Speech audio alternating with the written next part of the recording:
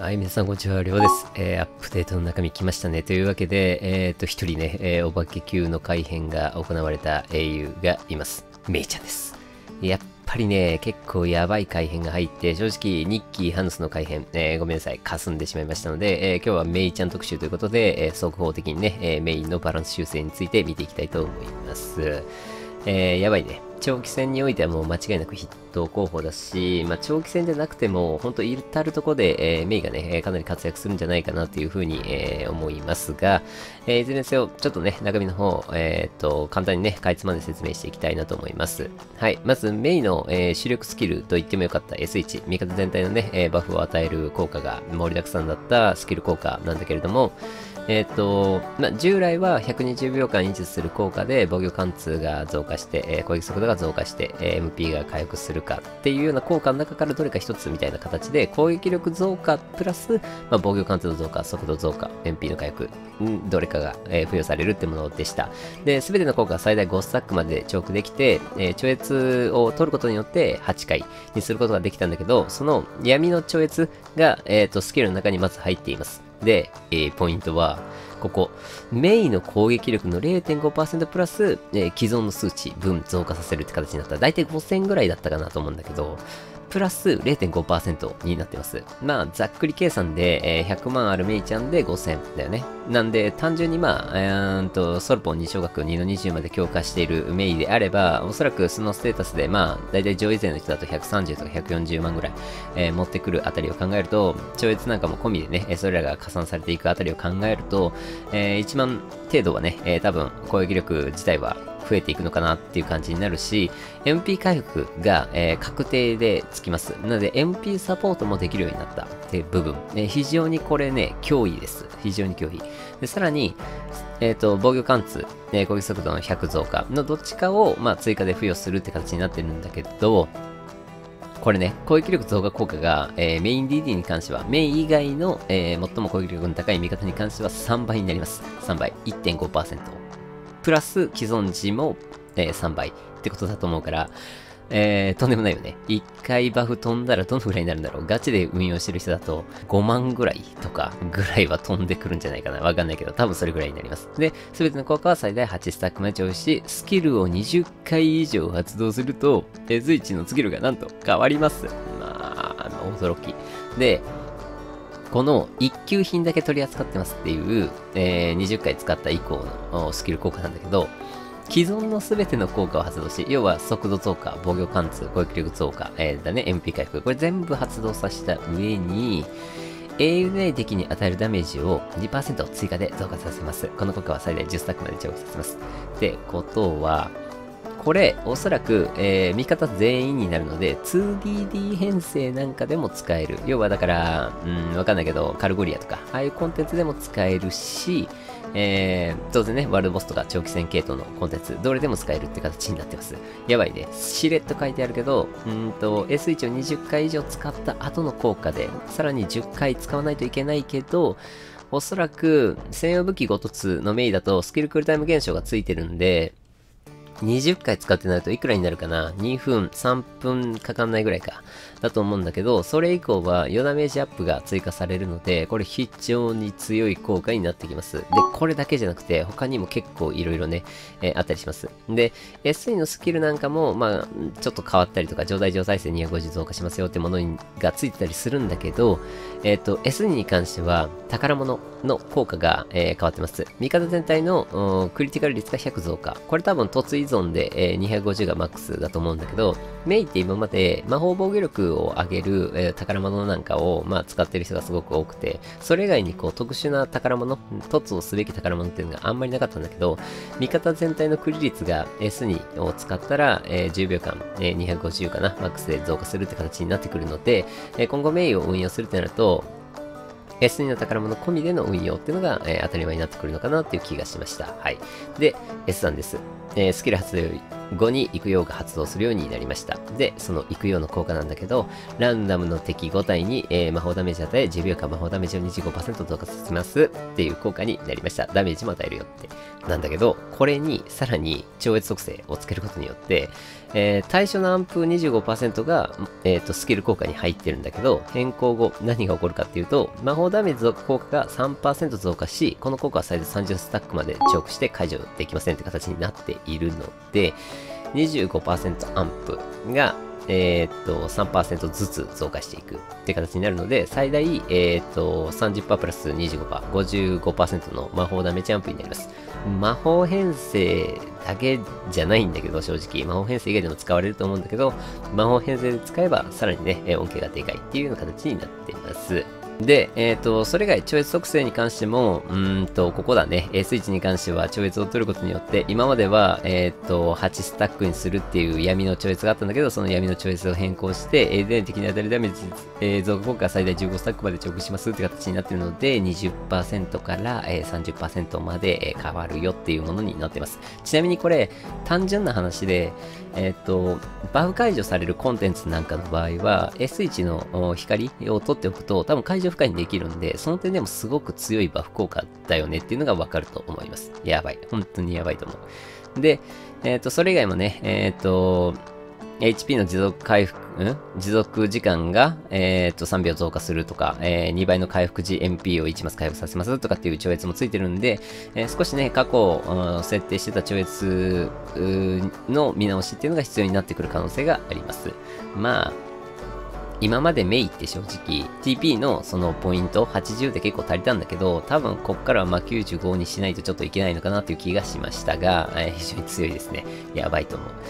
うん。で、えっ、ー、と、一番やばいのはこちら、ソウルウェポンの効果です。これマジでやばい。今までは、えっ、ー、と、通常15スタックの攻撃力4%増加。で、3秒ごとの4%増加で、確か12秒だったかな、効果時間が。10秒だったかな、になるんで、えっ、ー、と、1回使用するたびに、まあ、3スタックとか4スタックぐらい、えー、獲得できるものなんだけど、これが、えっ、と、1昇格効果が、えっ、と、解放の普通に無昇格の状態に追加されて、最大20スタックまでになりますよってなってて、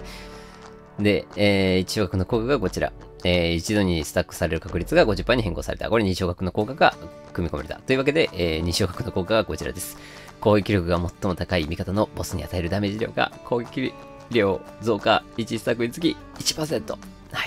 はい。ボスヨダメが最大で20%増加します。しかもこれは S1 の効果に比べて、えー、適用の速度がかなり速いです。3回目、4回目ぐらいソルポン使ったらもう確定でマックスになってるかなって形になるので、まあ、比較的中長期戦に関してはもうメイがかなりね、えー、主力キャラクターになってくるのかなって気がします。特にまあ後半追い上げ型みたいな形のバフになってくるけど、速度増加なんかもやっぱり従来の、うん、強みもあるし、えー、すっごく強いのかなっていう気がしました。えー、メヒちゃんね、今後ワルボで確実にヒット候補だと思いますが、えー、とんでもない進化を遂げたね。うん。あの、オーディのね、えー、ソウルウェポンの効果なんかがメインにしっかり飛ぶように調整していけば、うんとかなりね、スキル回転効率を上げて、スタックを早くね、獲得していって、S1 に関しては20スタック貯めて、すぐにね、えっ、ー、と、1の2のスキル、1級品だけ取り扱ってますっていうようなものに変更できれば、かなりね、スキル回転効率も良くなるし、比較的早い段階で、えっ、ー、と、そのメインの火力、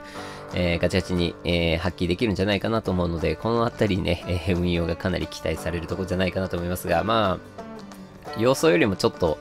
うん、強めにアッパー来たなっていうのが個人的な印象でした。このね、攻撃力のね、パーセンテージ依存のバフも結構えぐいと思うんだけどな。大丈夫かな？うん。まあ、どっちかというと中長期戦のね、短期戦では、うん、ちょっと活躍させるのはどうかなって感じはするけど、中長期戦においては、まあ、メイを超える英雄はいなくなったんじゃないかなって思うぐらい、えー、非常にね、強いバフ効果来てますので、えー、しっかりとね、育成の方をしてる方は、あの、活用の方をしてみてください。えー、続いてニッキーです。ニッキーはね、正直ね、私、パッと見てね、どこがそれほど強くなったのかなっていうのが、うんと、あんまりこう、しっくりきてなかったんだけど、微妙にそれぞれが強くなってった感じになるのかな。えっ、と、まず S2 だね。えー、ヒットごとに物理ダメージ与え1.5秒の気絶で英雄対象が英雄の場合、5秒間物理防御力30%減少、英雄でない場合は、えー、5秒間非物理ダメージが30%増加するって効果でしたが、えー、人ごとに、えー、2機の最大 HP の1%分の物理ダメージを与え、HP 依存の、ね、ダメージになってます。で、えー、っと、そこら辺は合ってるね。で、英雄でない場合はダメージ量が100%増加し、5秒間非物理ダメージが50%増加しますっていう部分。まあ、アンプ量が増えてるよっていう部分で、PVE、PVP ともにね、えー、っと、ちょっと用途が変わってきてるの部分があるのかなって気がしました。で、S4 に関しても、HP が50%以下になると残虐な狂気が発動します。で、この効果は1回のみ発動し、解除できませんというものになっています。解除できないっていうのが追加されたって形だね。うん、まあまあ強いのかなって気がする。で、あと、えっ、ー、と、超越作戦の2期の5闇かな。に状態上耐性が500増加し、自分にかかった状態以上の持続時間が何パーセントなんだろうね。これちょっと、うん、化けたのか、内間近いかわかんないけど、何パーセント ?20% かな ?50% かな、えー、減少するような効果に多分なっているんだと思います。まあこれはちょっとね、えー、アップデート終わってから確認をしてみたいと思います。はい。で、1000武器、MP が、えっ、と、毎秒ごとに、えー、80減少させる効果になっていて、その後自分に可逆効果を付与する。可逆は、えー、2秒に1回のみ付与され、最大5スタックまで重複。最大重複時、すべてのスタックを消費して敵全体に5秒間、非逆を付与し、効果時間中、えー、状態上耐性を200減少させ、受けている、えー、対象が受ける状態以上の持続時間を10%増加させます。この辺はまあ、突依存で多分パーセンテージ増えるんだろうね。で、科学及び飛逆は解除できず、えー、できません。血統上でスキル攻撃時、対象の最大 HP の8%分の追加物理ダメージを与えますと。いう形で、えー、っと、自身の攻撃も HP 依存だし、えー、っと、血統上で使用する場合は対象の HP のパーセンテージ分の追加ダメージっていうのも出てくるよという形になりました。まあ、耐久パーがかなり増えてきてる、うん、環境においては、割とね、この0.8%っていうのも、まあ、突依存で多分大きくなっていくと思うんだよね。最大2%じゃないかなと思うんだけど、えー、そのあたりもね、まあ、パーセンテージが突で増えるかどうかわかんないけど、結構強いダメージになってくるんじゃないかなと思います。次に宝物のパッシブだね。えー、っと、残虐本能、えー、残酷な狂気、発動時自分のスキルクールタイムを30%減少させ、えー、発動中に回復力が500、えー、50%増加する効果っていうのが追加されるという形になっています。うん。で、あと、ソウルウェポンなんだけど、うんと、ちょいちょい変わってんのかなえっ、と、最大チョーク数が10回だったのが15回に変わってるっていう部分と、えっ、と、非物理ダメージの増加効果が3%に変更される。これが、要は増えてるって話だよね。で、えー、2種目。これです。スキル発動時8秒間残酷な狂気が発動され、10秒後、えー、全体、敵全体のバグを解除します。って形になってるんだけど、これがね、ちょっと何とも言い難いんだね。10秒後ってなんだろうなっていう感じもちょっとしてるから、この辺がちょっと何とも言い難いんだよなって感じ。で、既存の二昇格効果が、えー、無昇格の効果に適用されてるっていうのもなんかね、えー、抜本的改革を目指したんだろうけど、これがさ、オーナーとかビクトリーでどのぐらいの影響力を持ってくるのかっていうのはすごく気になるところですね。これはまあ使ってる人の使用感聞かないと何とも言い難いかなっていう感じですが、まあ、うん。多少はね、使いやすくなってる部分があるんじゃないかなと思います。はい、最後、ハンスです。えー、ハンスはね、なんだろう、ダメージが増えてるのかな。えー、スニのえー、8の巣にしてありますが、ダメージが17%増加してるよっていう部分と、射程とか、うん、ダメージ範囲が広くなったよ。で、えー、ダメージ増加量は最大50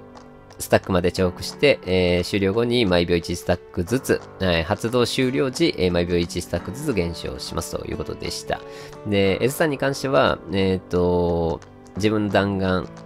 を80獲得します。はい。が追加されるのかな。もともと50だったのが、えっ、と、80になっていると。で、パッシブなんだけど、えっ、ー、と、既存1スキル闇効果の攻撃力増加、既存 S3 スキル闇効果の防御貫通増加が調整され、え、スキルに適用される。要はパッシブに組み込まれましたって形になってます。で、弾丸を獲得するたびにハンスの攻撃力が1%、えー、防御貫通が20増加します。えー、弾丸は最大300スタックまで重複し、攻撃力、防御力貫通効果は最大15スタックまで重複しますという形になってます。なんでまあ、攻撃力が15%アップ、で、え、防御貫通は300アップするよというような形で、えー、パッシブの方にね、えー、追加がされました。うん、ど、どのぐらい違ってくんのかな？なんか、微修正って感じかなって気がする。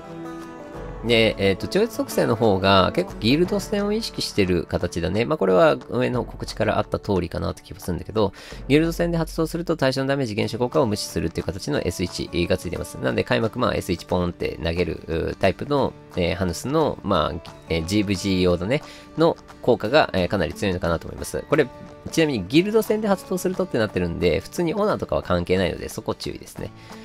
で、S3 に関してはスキルクールタイムが7秒減少できるっていうような、えー、と3闇の効果が、えー、新しく追加されました。で、S4 の光に関しては、えっ、ー、と、味方全体の火ダメージが20%減少しますだったのか、味方全体の英雄による火ダメージが30%減少しますという風な形で、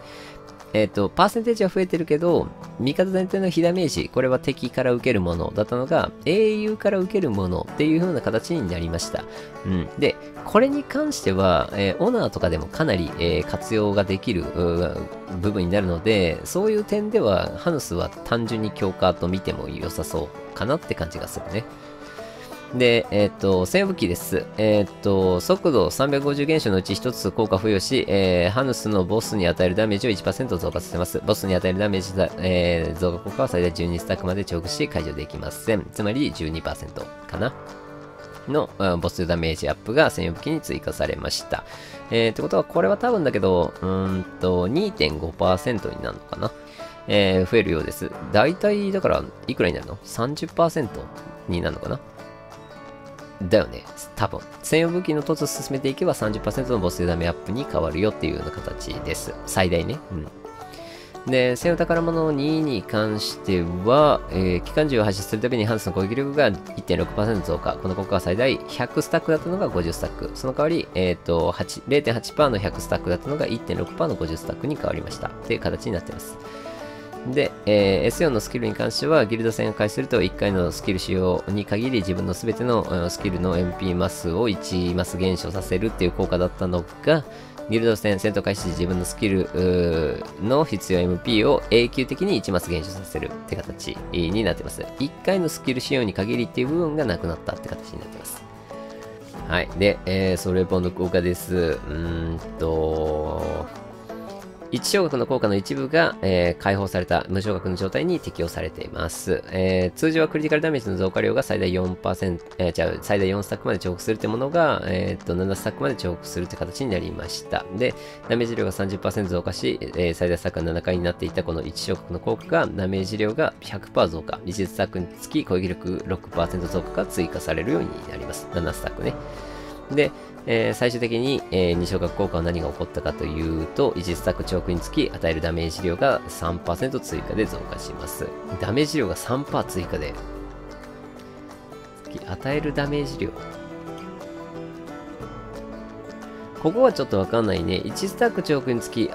なんだろう、敵に当たるダメージ量が3%追加で増えるのかなこの、ごめんなさい、基本のね、文章がちょっとわかんないから何とも言い難いんだけど、いずれにせよ、どうなんだろうね。ソウルウェポン自体は完全に、えー、火力がアップするような形になってきてるし、攻撃力の追加なんかも、えー、ついてるんで、かなりダメージ的には伸びてるんじゃないかなって思います。ただ、根本的に、こう、なんて言うんだろう。運用が大きくガラッと変わるほどの変化があったって感じでは、なんとなく見てる感じなさそうなんだよね。うん。で、まあ、今回、まあ、ざっくり、ちょっとね、私もあんまり普段使ってないニッキーとかハヌスなんで、あんまり、こう、見た感じでどのくらい違うのかなっていうのがパッとわかんなかったんだけど、いずれにせよ、メイの修正が結構えぐいね。さすがさすが。まあ NPC だしねっていうのも正直あるので、このぐらいの修正があっても、まあ確かに現役に復帰させるっていうぐらいのね、えー、勢いで、えー、書いてた部分があるので、まあまあまあ、うん、ワールドボス勢及び長期戦でのメインの活躍は今後間違いなく確実なものになったかなって気がします。まあ、それに比べてね、えー、ちょっと遅れを取ってる英雄がやっぱりたくさんいるから、まあ、常時ね、これをね、えー、続けていかないと、まあ、環境に取り残されていくキャラクターがどんどん出ちゃうのかなと思う反面、うん、強くなりすぎるとどうなのかなって思ったりね、えー、いう感じもしますが、いずれにせよかなりね、え強いものになっています。で、えー、その他ね、えー、と、まあ、この辺はイベントが始まったらまた、あの、特に気になる部分があればお話ししようかなと思うんだけど、なんか、錬金術みたいなやり方の、えー、面白いイベントが来ているようです。えこれらの詳細に関してはね、気になる方は、えっと、まあ、アップデートがね、ね、朝起きた頃には多分終わってんじゃないかなと思うので、え自分でね、試してみるといいと思うんだけど、えっと、なんだっけ、あの、金、金の粉みたいな、あれを変えるみたいな ことができるみたいです。まあ、あの、詳しくはね、えー、ゲームが開始された頃にお話ししたいと思います。で、ギルドコンテンツに関して、脱退時とか、えっ、ー、と、ギルドの再入会のペナルティっていうのが緩和されるそうです。今まではね、結構、こう、なんて言うんだろう、制約が結構長く時間かかってたんだけど、まあ、ギルドのね、えー、移動とかをする人が増えてるっていう部分を兼ね合いを考えてたと思うんだけど、えー、かなりね、緩和されますというようなものに一応なってました。が、うん、まあ正直、脱退のペナルティ、正直個人的にはね、いらないと思ってるんだけど、どうだろうか。まああっても、別に、なんていうの、10時間とかぐらい、えー、とかでもう別に3回目だから4回目だからってあんまない方がむしろ活発でいいんじゃないかなと思うんだけど、まあ一応ね、そのあたりが、えー、あるそうです。で、クライアントの回線、これは、えっ、ー、と、開発者ノードであったやつだね。えー、ベルガザールの HP が、えっ、ー、と、棺のかな？えー、HP が増えるそうです。で、えっ、と、戦闘でラグ現象が緩和されたバージョンのエミュレーター専用のね、え PK ファイルを提供する。で、AP、この、エミュレーター専用のものになるっていうところだけになってますので、そこ注意です。はい。あとはまあ、えー、チャレンジレイドなんかも来てたりしますし、ショップのね、えー、新しいものが追加されたりとかっていうような、えー、告知もありました。まあ、あの、気になる方はね、えー、ぜひこのコミュニティ、えー、積極的に、えー、確認してもらうのがいいかなと思います。はい。めいちゃん楽しみだね。ちょっとじゃあ、えー、明日もまたライブ配信すると思うので、えー、興味のある方はそちらでね、えー、どのぐらいの強化になってるのかっていうのをちょっと確認、えー、していきたいなと思ってますので、よかったら遊びに来てやってください。今回は以上となります。ではでは。